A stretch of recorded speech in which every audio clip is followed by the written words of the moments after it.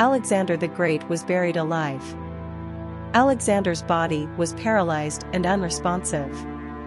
His body did not decay even after five days of his so assumed death. He was thought to be dead and got buried alive.